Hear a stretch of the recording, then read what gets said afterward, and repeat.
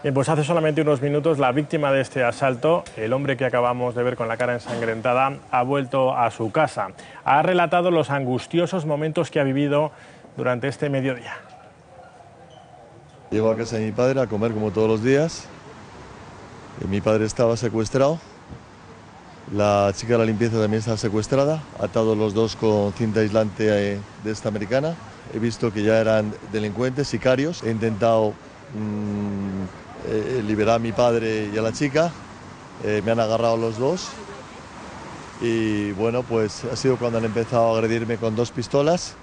Eh, me han hecho varias brechas en la cabeza, me han tirado al suelo. Me pedían una serie de WhatsApp, una serie de documentos de Hacienda, una serie de documentos de unas dos mochilitas negras donde llevo yo unos documentos de- importantes. Son WhatsApp imprimidos, son 300 folios.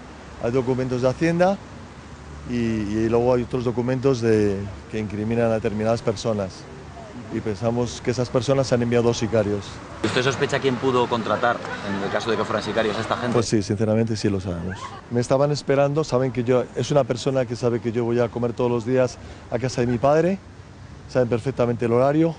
eh, me llamaban por mi nombre, Ignacio, colabora, dinos dónde están los documentos. Eran españoles, unos 50 años, y, y sabían lo que hacían, eran sicarios